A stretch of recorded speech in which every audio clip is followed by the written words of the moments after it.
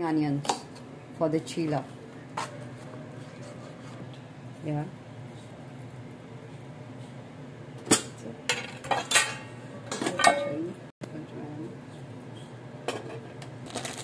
Dry methi leaves? Dry methi leaves. How much?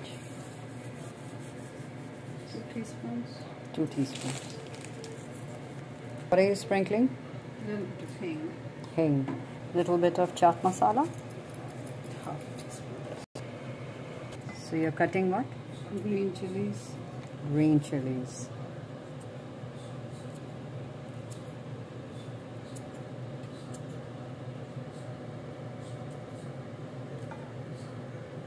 Two green chilies. So you're cutting ginger. Yeah, half an inch of ginger. Two cloves of garlic. Mm. So you're grating them inside, right? Grating the garlic and ginger. Okay. Very interesting. That's garlic. This.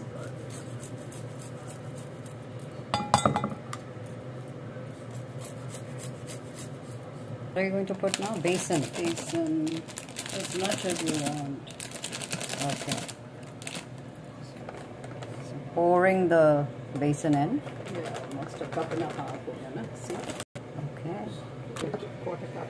Quarter cup of Suji. semolina. Suji. Of Curds. yogurt. curds. Yogurt or curds. Now water. One cup of water. Second. Yes. Ready to stir.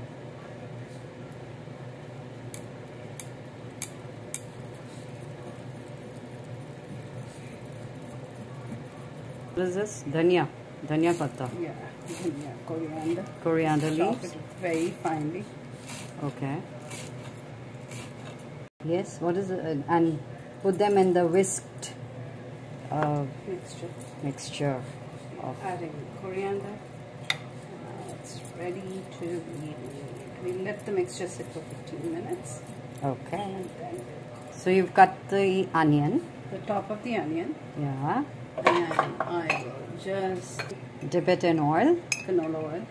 Come Any oil. In the pan that has In the been. pan you go, you just spread it.